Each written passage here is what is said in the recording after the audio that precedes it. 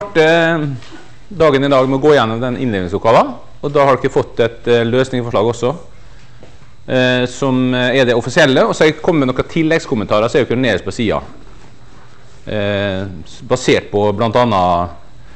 innleveringene deres. da. Eh, Henta fra avskrivning og, og Ja, avskrivning spesielt, da. Og eh, altså den Oppgave A, da, eller oppgave C, mener jeg, den første av de to, den var jo altså Det er ekstremt mye informasjon her. da. Er, altså, det er godt gjort egentlig å få det her korrekt, nesten. For det er så mye sånn kryssinformasjon og sånn. At ting er, er Ja, det er voldsomt mye informasjon. Og det er en ja, sånn, ikke så enkel oppgave egentlig å få helt rett, men det var et par av dere som hadde faktisk helt, fikk de korrekte svarene. Hadde alt rett. Ellers er det en prøving i forståelse av avskrivninga. avskrivninger. Og det som er viktig også, på en måte vi snakker om regnskapsmessige avskrivninger, og de gjør jo f.eks. at det er av, avhengig av når i året en gjenstand ble skaffa. For en maskin som ble skaffa midt i året, da skal den avskrives med halvparten. Sant? Så du må være obs på når ting skjer i året, eh, når du beregner regnskapsmessige avskrivninger. Og så er en ting til. Det, det, sånn, det, kommer alltid noe som ikke er gjennomgått, da, helt spesifikt. Men, men eh, men, men, egentlig så burde det kanskje være mulig å, å, lese av likevel. Og det er dette med presentasjon av avskrivninger eh, brutto. brutto. Vi skal bare ta det ganske kort. Altså, bare for å sagt det um, Tenk dere at vi nå kjøper en maskin, går inn i banken og betaler 1 million eller 1000 for en maskin. Da står det der 'maskin', og det er egentlig maskin til anskaffelseskost. Jeg vet jeg hadde nok mer om det her tidligere notater, men eh, liksom ikke lagt så mye vekt på det. Det man svært ofte gjør, da, så skal vi begynne å avskrive det her. Og Hvis vi tenker oss maskiner her, så er dette da eh, punkt 1210 maskiner. Det man ofte gjør, det er at man da har akkumulerte avskrivninger. Akkumulerte avskrivninger på egen konto, på en separat konto. Dvs. Si man bruttofører, man netter ikke. Hvis denne her nå eksempel, skal avskrives over fem år, fem år sant? så skal vi avskrive da i år 1 avskrivning år 1. Altså vi tenker oss at vi er år 1 først. da. Så er det 200 til debit, som er en kostnad i resultatregnskapet. Og da fører vi den her mot akkumulerte avskrivninger på 200. Anskaffelseskosten står urørt. Den inneholder kun anskaffelse. Dette er svært vanlig å gjøre i praksis, at du har en separat eh, anleggsmiddelkonto og en separat akkumulert avskrivning. Ofte så, kalles, så nummereres den likt, men f.eks. 1219 eller 12, altså et eller annet innenfor samme nummerserie. Her er 1212. da. Føres altså brutto. Året etterpå år to så har du en ny avskrivning, 200. Da føres også de 200 mot akkumulerte kontoen. Hva er netto bokført verdi av den gjenstanden her etter to år? Hva er bokført verdi etter avskrevet med 200 i to år av en gjenstand du har kjøpt for 1000? 600, sant?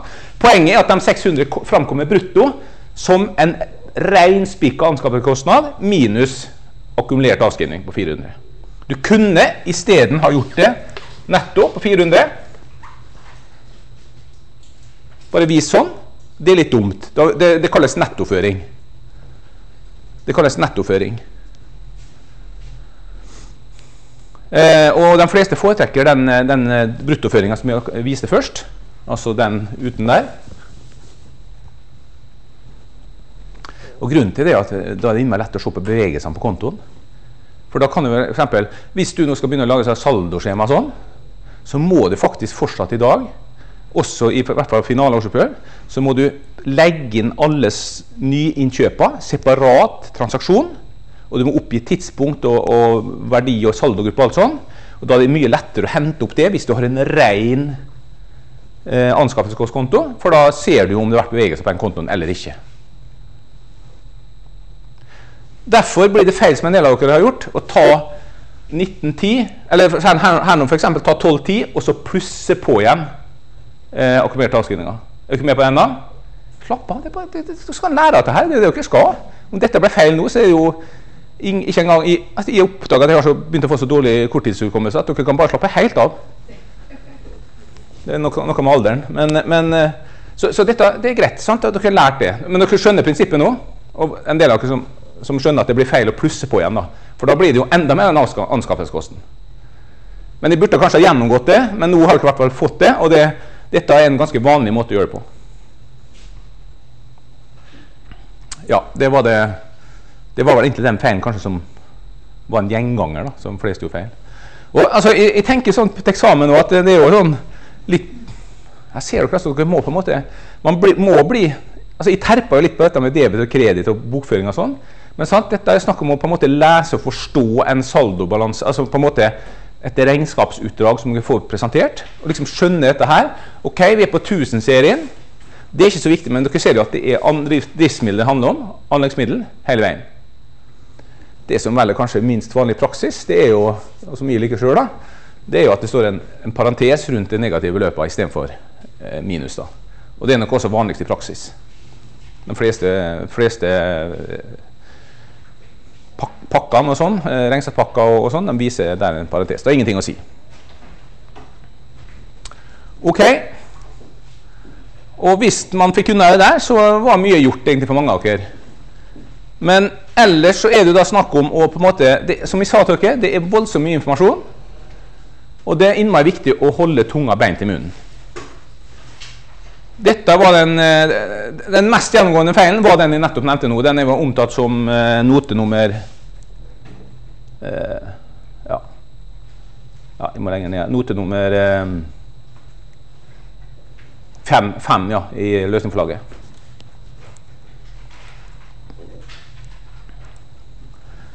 Skal vi se.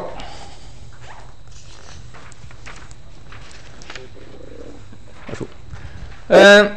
Nei, så Det var vel det som det var, var gjort mest feil. Ellers så er det jo på en måte da å bare å bare Vi skal ta det viktigste, eller vanskeligste først. Eh, å på en måte parere så mye informasjon som det her på en korrekt måte. Det var det ellers som er utfordringa. Og det som var ellers den største utfordringa Det er jo den solgte maskina. da. Der også gjelder det Eh, der det gjelder å gjøre det her korrekt. Og behandle den korrekt.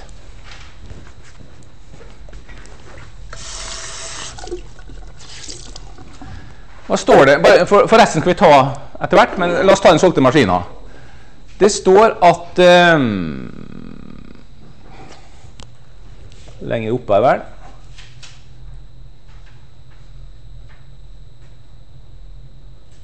Uh, hvor står det solgte maskiner da? Skal vi se. Um, punkt 3. Maskinen er avskrevet lineært, ja. Kjøpte en ny maskin i levetiden. Det ble beslutta av maskinen. Ja, altså. Bedriften ja. Samtidig ble det solgt gammel maskinutstyr for 250 pluss 20 MVA. MVA-en går ikke inn i resultatregnskapet, har ikke noe for oss å gjøre. Den ser bort fra det. Så da skal vi bruke 250. Følgende opplysninger foreligger om disse maskinene i henhold til anleggsregisteret. Anskaffelseskost 4000. Restverdi utgangen av i fjor 250, 150.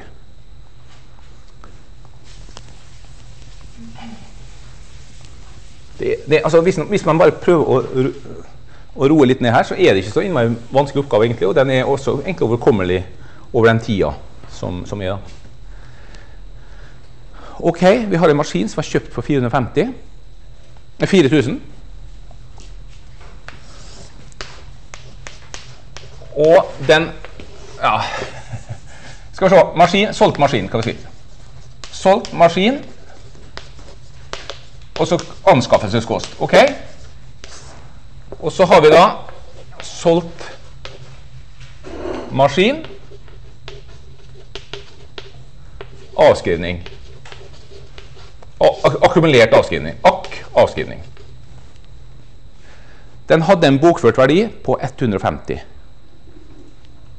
Ok, Den var kjøpt for 4000. Hvor mye var den da akkumulert avskrevet med? 38,50. sant? I sum 38,50 i akkumulerte avskrivninger fra den ble kjøpt.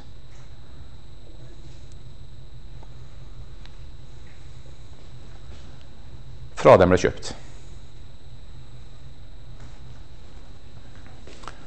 Og Her står det samtidig Når, når vil det si? Var det på slutten av året? det? Nei, det ble ny, kjøpt ny maskin. Hva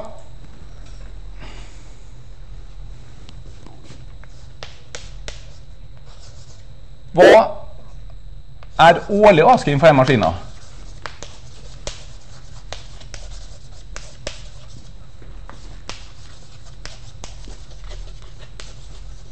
Jo, årlig avskrivning for den, det var jo 4 millioner ganger 0,2, som var avskrivningssatsen. Ja, altså 800.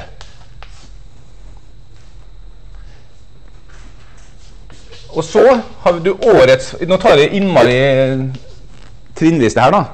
Årets forventede avskrivning for solgt maskin. Solgt maskin ja, Den var jo bare eid et halvt år. Så da blir det jo 400, 4000 ganger 0,2 ganger en 6 tolvdeler, for den var eid bare et halvt år. Så vent egentlig et årlig avskrivning på 400.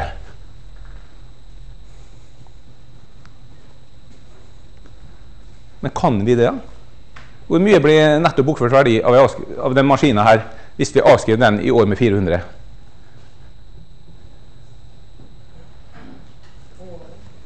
Ja, da blir det ytterligere 400 her. Da får vi blir jo plutselig så blir, det, blir jo netto i minus 250. Er du ikke enig? Så vi kan ikke avskrive til lenger enn null. Derfor blir virkelig avskrivning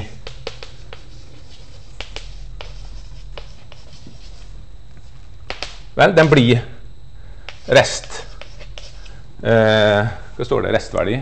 Uavskrevet rest, ja. Rest uavskrevet. Vi kan jo ikke gå lenger enn til 150. Vi kan ikke avskrive mer enn 150 her, slik at netto bokført verdi blir null. Sånn? Vi kan ikke gå lenger ned. Vi kan ikke avskrive med 400 her, for da får vi akkumulerte avskrivninger som er større enn anskaffelseskosten. Det er ikke tillatt. Vi må jo stoppe på null. Sant? Vi kan ikke avskrive som blir negativ. Det stopper på null. Ergo blir avskrivinga på den her 150.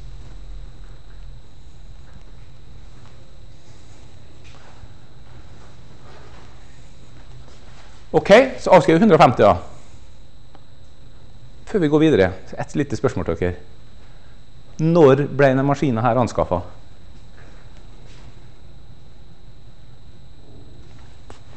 Skal vi se, det her var 2013, var ikke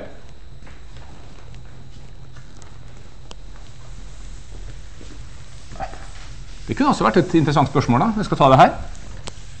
Vi vet at per 31.12.2012 så var den netto bokført verdi Hvis vi bare starter her, da. Netto balanseført verdi var 150. Er dere enige?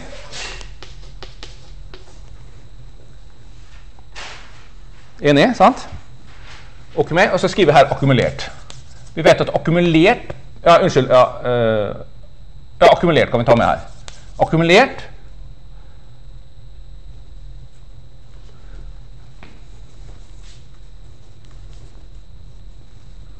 Ja, vi kan ta um, anskaffelse og ja, vi kan ta, vi kan ta netto bokførsverdi, for da tar de etter hvert akkumulert. Um, da vet vi at det her var 38,50 akkumulert avskrivning og 4000 her. Og da vet vi at den har vært avskrevet 400 i 2012. 400 i 2000 Nei, unnskyld, 800 var det, sjølsagt. 800 var det jo. sant? Årlig avskrivning. 800 i 2012.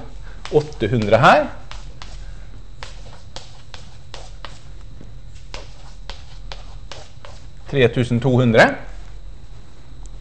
Det vil si at det, i det året her da, så måtte det vært avskaffet med 650. Sant? 8, 16, 32 pluss 650 i 3850. Skjønner, dere hvordan jeg går tilbake? Liksom, ok, 3850 det må bestå av fire hele år på 3200. Og så i anskaffelsesåret 650. Og Da er det bare å fortsette med tallene her. da. 12, 11, 10, 9 Og at det ble anskaffa i 2008. Når i 2008?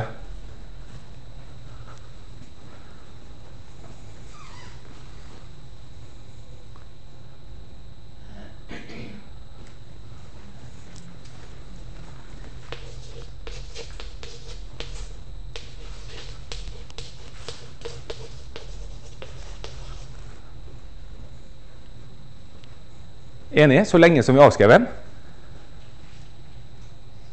Skjønte dere den? Sant? Vi har jo har, vi har avskrevet den 650 av 800 av året. Og da får vi antall måneder. Og hvis det var ni måneder, så var det 1. april. Altså du må regne andre veien. da. Er dere med på den?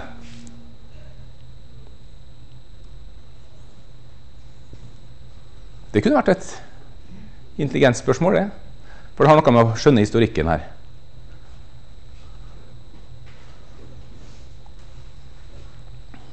Er dere med på den? sant? Altså, Jeg regner meg tilbake. Den måtte ha vært anskaffa i 2008.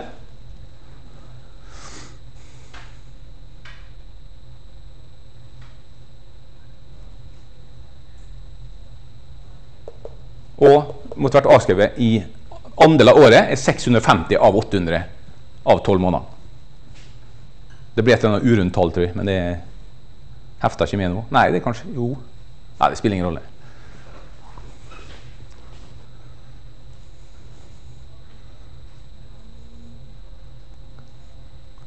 Hva fikk du? Mange måneder? 9,75. Ja, akkurat. Nesten ti. Ja, det var det jeg sa. Det ble et urundt tall. Men eh? Og da var jo anskaffa sånn ca. 9,75. Ja, var anskaffa sånn ca. i midten av begynnelsen av mars. da. Ja, eller ja, noe sånt. OK, er dere med på den? Men det som også Ja. Når vi først holder på med det her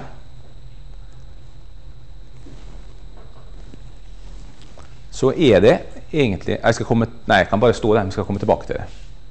For egentlig så må vi forutsette at alle var avskrevet At alle, Jens, all- alle øvrige maskiner var anskaffa etter 1.8.2009. Men det skal vi komme tilbake til. Men skal vi ta beregninga av det salget? Hva gjør vi når vi selger en maskin? Hva gjør vi når vi selger en maskin? Vi beregner en gevinstkonto.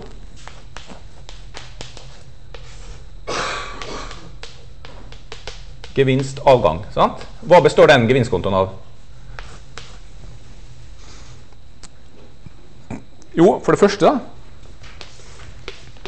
så får vi 250 000 inn i banken.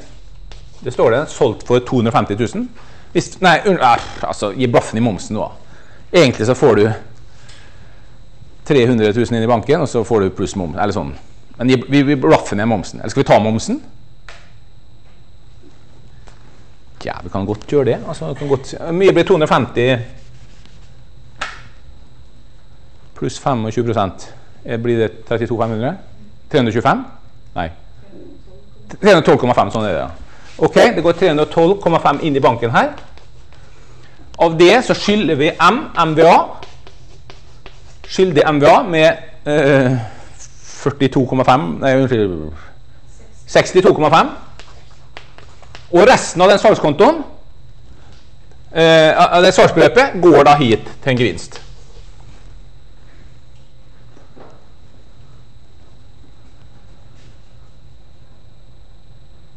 Er vi ferdig? Nei, vi må tømme den maskinen vi har solgt. sant? Ok? Hvor mye, hvor mye blir den tømminga på, da?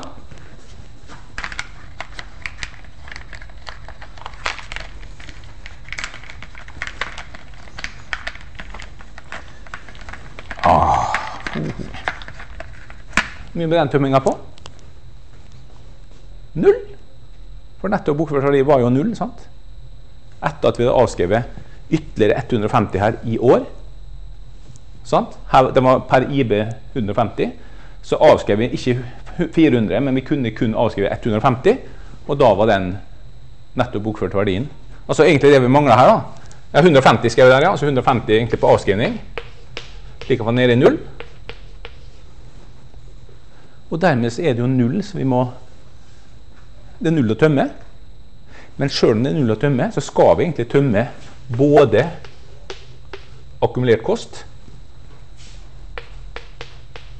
og akkumulert avskrivning. Det skal tømmes egentlig mot balansen, slik at det ikke står igjen noe av en maskin vi har solgt. Det skal ikke stå igjen noe av en maskin vi ikke eier lenger. Så sjøl om netto bokførtverdi er null, så må det her tømmes. Var det noe du lurte på, Ruth?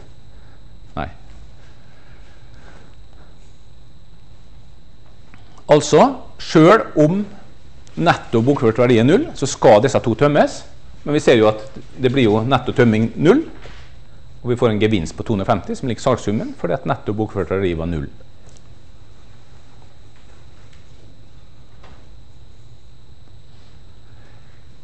Og Grunnen til at vi gjør dette, her, det er at vi må jo nå passe oss. Vi kan ikke avskrive av 4000 lenger av en solgt maskin. Dessuten så, så, kunne vi ikke avskrive Selv om vi beholdt den maskinen her, så skulle ikke vi ha avskrevet mer enn 150. Så selv om vi hadde beholdt den maskinen her, så måtte dere passe på at dere, når dere skal beregne maskinen for, eh, eh, avskriving for øvemaskiner, så må dere trekke ut de 4000. Her, og Derfor er det en fordel at du har eh, akkumulert eh, kost på maskinene 15580. Men så vet du at du må trekke ut de 4000 på den solgte maskinen når du skal beregne årets avskrivning. Du må trekke ut de 4000 på, på den solgte maskinen. Altså av maskinene her på 15580 så inngår den solgte maskinen med 4000. Ergo må vi trekke ut de 4000 når vi skal beregne årets avskrivning av maskiner.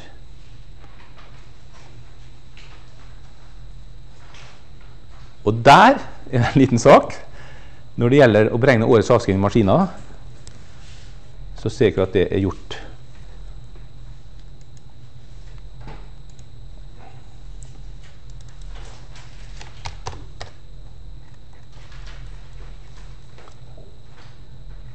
så ser dere at det er gjort lenger nede her som 4000, uh, unnskyld, 15580 ganger 4000 ganger 0, minus 4000. For du trekker ut den avskrivninga.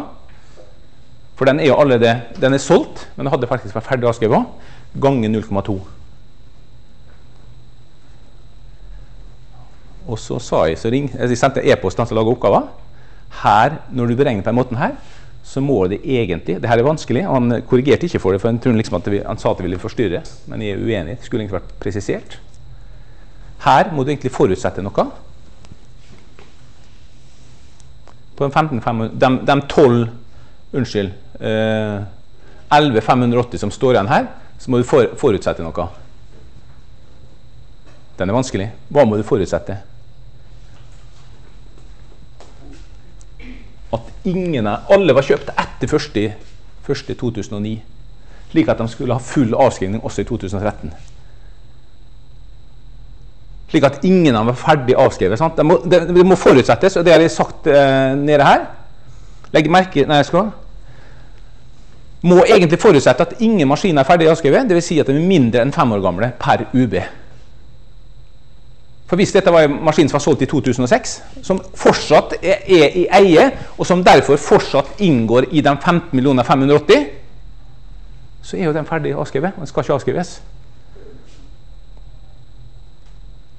Slik at de 15 580 minus 4, 4 millioner, altså 11 580, som du nå fortsatt driver avskriver, hvis de skal avskrives et helt år, så må vi forutsette at de alle sammen var kjøpt etter 1.2009, slik at de skal avskrives 100% eller fullt ett et år i 9, 10, 11, 12 og 13.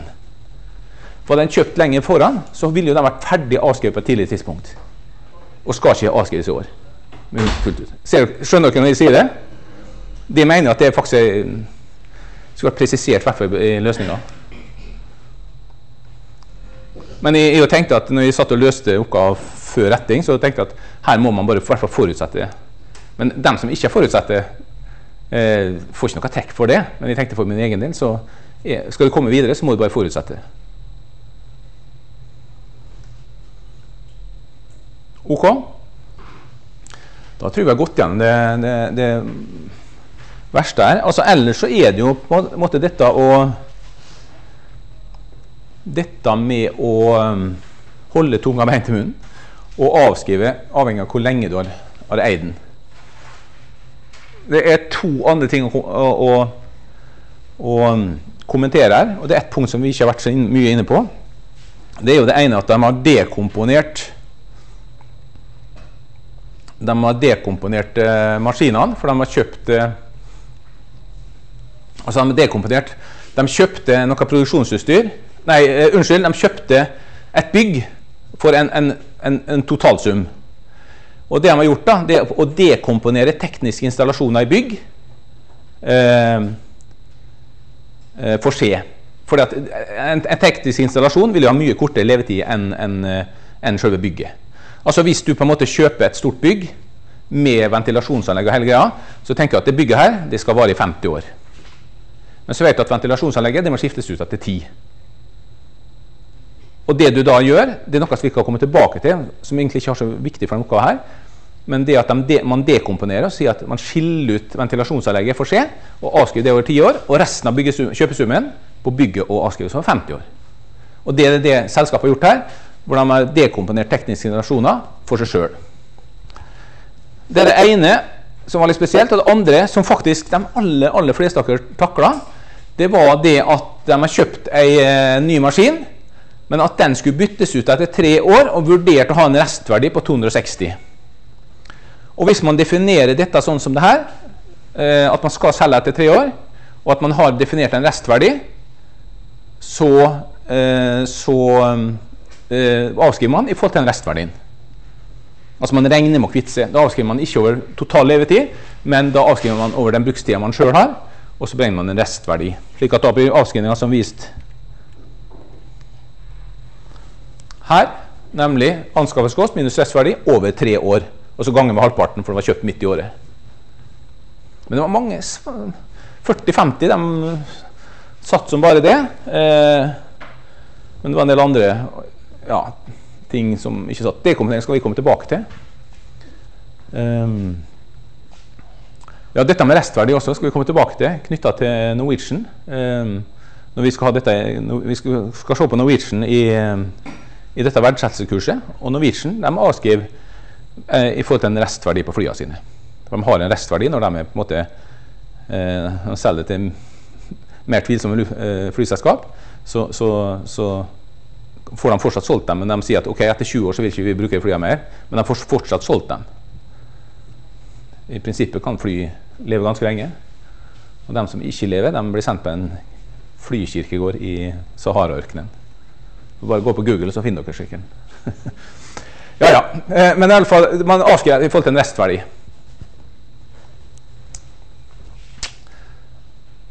Ja, ellers så tror jeg, da tror jeg godt Altså Det å holde tunga veien til munnen Det var innmari mye informasjon her. Eh, og så er det jo dette at du må på en måte Du ser at det er innmari mange tilfeller her hvor, hvor må, det framgår at det er midt i året, og da må du gange med seks tolvdeler. Sant? Innmari mange av dere som hadde 420 her. Sant? Kjenner dere igjen? Og som hadde 100 her og, og, og 80 lenger nede, for at de har glemt å gange med halvparten av året. For det står at vann skaffes halvparten av året.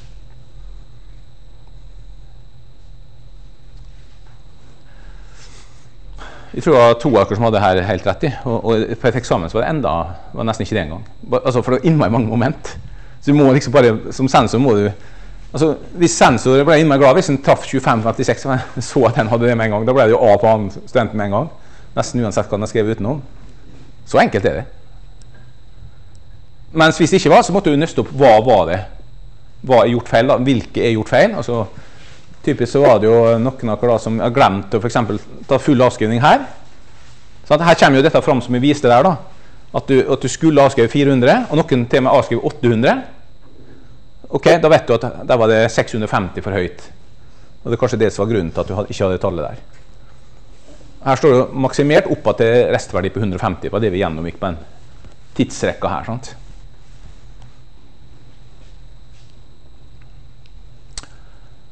Ja, men da Ja, så en del av dere altså, Ja, bare en, en ting til. I, i, av og til så, så så det er en, en del gjengangere som vi ikke, da kommenterer ikke alltid, for det blir så mye å kommentere. Men legg merke til spørsmålet her. Beregn årets regnskapsmessige avskrivninger per driftsmiddelgruppe og samlet. Og samlet. Svar på det, da. For da slipper sensor å samle det. sant? Ellers måtte jo sensor ha tatt hver enkelt. Det gjør den hvis ikke dere får sluttsummen korrekt, så må dere se hvor, på hvilket driftsmiddel avviket er. Men svar på samlet, da. Skriv opp det. Ikke bare hver enkelt, men samlet. Bruk, bruk dine, begrunn dine løsninger og henvis til aktuelle bestemmelser. Eh, så henvisning var innmari mange ganger, og det er helt greit, selvsagt, eh, bl.a. for en læreprosess. Men det var innmari mange ganger som skrevet innmari mye om rammebetingelser, grunnlaget for eh, anleggsmiddel og definisjonen av anleggsmiddel, og hvordan det avskrives paragraf 5-3 og verdiforringelse og alt sånt. Økonomisk avskrivningsplan. Men ikke bruk for mye tid på det. For i, i eksamen så rekker dere ikke. Kan gjerne bare nevne kort noen henvisninger av NRS 8 som vi ikke har vært inne på ennå, og, regnskapsloven paragraf sånn og sånn, men ikke, ikke bruk for mye tid på det, for dere, dere rekker ikke til eksamen. Ja?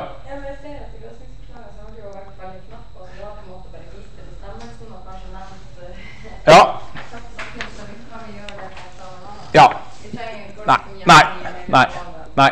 Det, altså for å si det sånn, Jeg tror at uh, det tallmessige kommer til å ta så lang tid av eksamen at uh, og utgjør så vesentlig del at jeg ville konsentrert meg om det. Og Derfor blir det også på en måte det sensor primært forholder seg til. Eh, innholdet i eksamen her har vært diskutert i mange forum. altså, man mener at dette er for mye talldrilling. For tallmessig skulle vært mer drøftende. Eh, jeg holdt noen innlegg om dette sjøl i noen sånne sammenhenger. Eh, men nå er det, den er ikke blitt mindre drøftende for å si det sånn, i senere åra. Uh, så det er fortsatt såpass mye tallgymnastikk. da. Så, um, og Derfor må, må dere bruke ressursene til eksamen på det.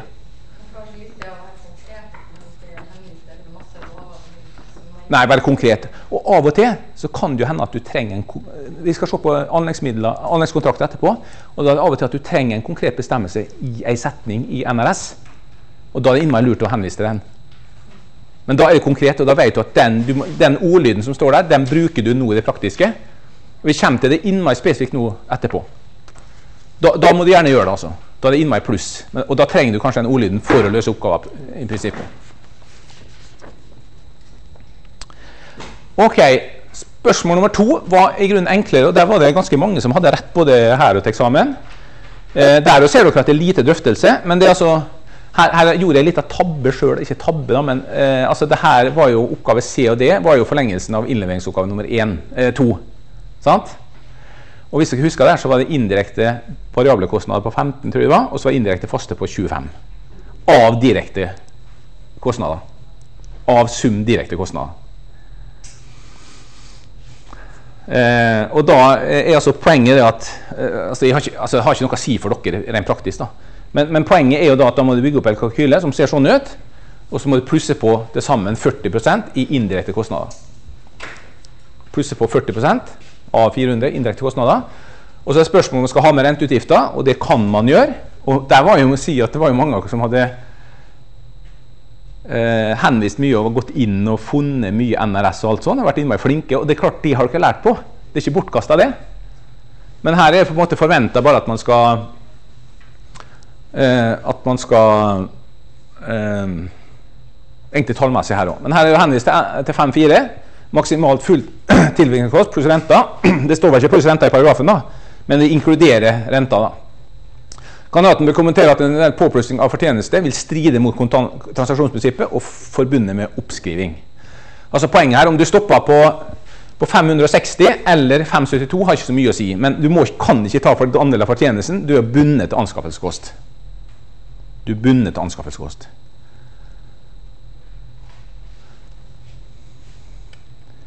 Og så står det her. Sant? Bedrifter ønsker å aktivere mest mulig av prosjektet. Og greit, Dette med rentene det står ikke spesifikt i lova, men det er vanlig å ta med også renta. Eh,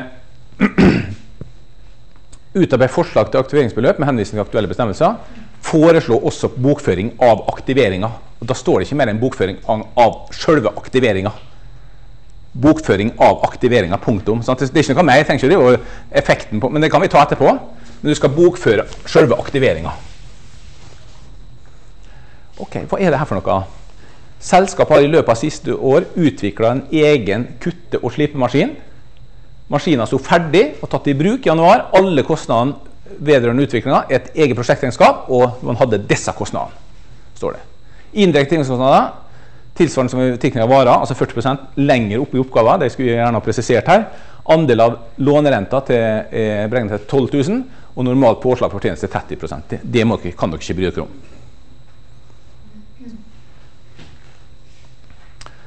Men hva er det her for noe? Jeg husker ikke, men jeg gikk nesten i fella der sjøl først. Så det er lett å tenke at i og med at dette er egenutvikla, så er det FoU. Men er det FoU?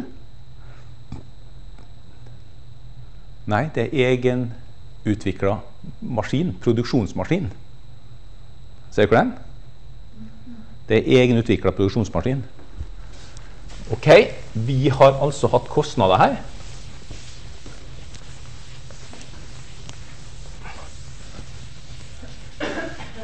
her, her, har jeg en liten jobb å gjøre, så jeg må sjekke litt. Men eh, altså, vi har hatt kostnader. Vi har hatt I resultatregnskapet så står det nå altså en del kostnader. Sånn og sånn. Altså maskin, direkte material 150 osv. 180, 70, også indirekte 160 og renta det står i resultatregnskapet med 12. Sånn? Det står i en eller annen form i resultatregnskapet. Direkte material, direkte lønn, eh, underentreprenører. Hva skjer når vi skal aktivere? Jo, det vil si at da kan vi plutselig føre som en eiendel slipemaskin. Hva står det? Kutte og slipemaskin. Kutte og slipemaskin. Poenget er at vi gjennom det arbeidet her ikke har solgt noe, men i form av å få en kundefordring f.eks. Men vi har oppnådd noe i form av plutselig å ha en flott maskin som vi kan bruke sjøl. Det varer eie eller bruk. Da tilfredsstiller den kravene til å balanseføres. Den kan vi da bokføre opp til var det 400 og, eller 572, var ikke 572 kan vi balanseføre, har vi funnet ut. For det er anskaffelsen vår. Vi kan ikke ta fortjenesten. Hadde vi solgt den maskinen, så kunne vi tatt en fortjeneste på 30, men det kan vi ikke vi balanseføre den til. Vi kan ikke balanseføre den for mer enn vår anskaffelseskost. Der stopper det. Er dere med på den? Altså, hadde vi solgt maskiner, kunne vi solgt det for 800 eller påslag på 30% 800 eller annet sånt. Det kan vi ikke gjøre. Eller det gjør vi ikke. Vi beholder oss sjøl. Og da kan vi ikke balanseføre den mer enn til anskaffelseskost. Og den har vi sagt nå. Hvis du tar med absolutt alt du kan ta med, så er det 572. Hva ble motposten, da? Eiendomsplasseringa. Hva blir motposten? Ja, du skal i hvert fall være en Her er nå summen her. Her har du debet, så du skal ha en sum her på kreditt 572.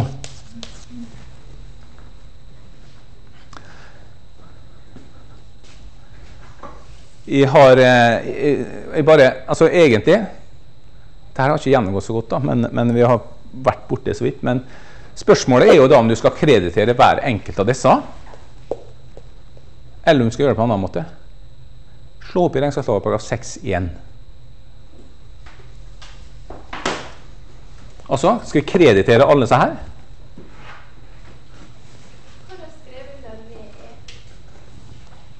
Nei, det er underentreprenører. UE. Det er direkte under Du er, da.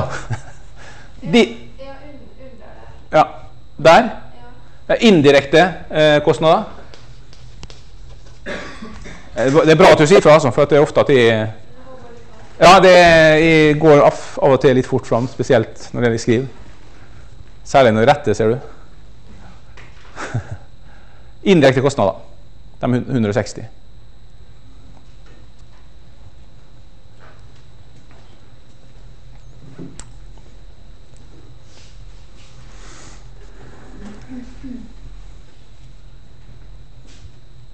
Ok. Et alternativ som vi har sett på, som blant annet ofte er brukt i tilknytning til FoU, det er eh, at vi krediterer de aktuelle kostnadene, reduserer dem, for vi har, måte, vi har brukt dem til noe som har en verdi, nemlig slipemaskin. Men finner dere noen alternativ måte å gjøre det på? I paragraf 6-1, post 4. Endring, hva står det? Endring av Nemlig. Og hva er dette, den kuttemaskina? Det er en egentilvirka anleggsmiddel. Nå fant dere den. Nå har dere lært den, sant? Glimrende. sant? På en måte, den beste måten å lære på er å, å, å, undre seg, og så plutselig finner man ut at man kan faktisk, istedenfor å kreditere hver enkelt, så kan man altså ha en konto som heter post 4 i paragraf 6 igjen. Post 4, og der her er endring egenproduserte anleggsmiddel. Og der krediterer vi M562 på egen linje.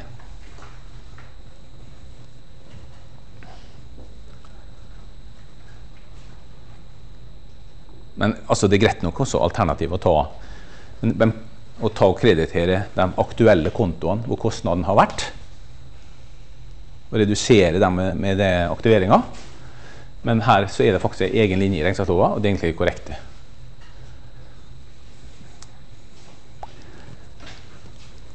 Hvis dette hadde vært en FoU, så vet jeg at jeg gikk gjennom forelegsnotatet deres. Der står det mer at du skal redusere hver enkelt. Og det dere kanskje har brukt noe løst det. Men det, det var en FoU. Jeg så gikk inn i denne FoU-standarden, immaterielle eiendeler om det står noe der med hensyn til hvordan du skal kreditere resultatregnskapet på hver enkelt post, eller bare en sum. Det står egentlig ingenting om det. For de er innmari fokusert på liksom selve balanseføringa. Og vi er innmari mye diskusjon knytta til det, men diskuterer i liten grad hvordan du skal bokføre. Og i forelesningsnotatet, hvis dere ser det, så har jeg stort sett fordelt. Men det er spørsmål der også, sjøl om du ikke har det i lova. Selv om du ikke har det i lova, så er det spørsmål der også om du kanskje kunne hatt det på egen linje. Endring i egenprodusert FoU, for å si det sånn. Men det er litt uklart eh, hvis dere går inn i selve standarden. Immaterielle standarden. Nei. Nei. Men jeg, men jeg retta opp for dere. Eller, sant, jeg retta, Og så har jeg også presisert det da, eh, i punkt fire her har egen post i resultatregnskapet, post 4 i regnskapsloven § 6-1. For nå vet dere i hvert fall om den. det er ikke alle poster dere kjenner til, har vært innom stort sett, men nå vet dere at det er faktisk en egen post. Og den står attmed endring i egenproduserte ferdigvarer. Eller varer, varer under arbeid. Så egenproduksjon skal stå på egen linje. Eller endring i egenproduksjon. Og det passer utmerket som en overgang til neste tema anleggskontrakter etter pause.